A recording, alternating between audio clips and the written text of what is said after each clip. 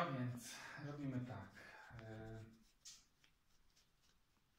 Myślę, że. Szach.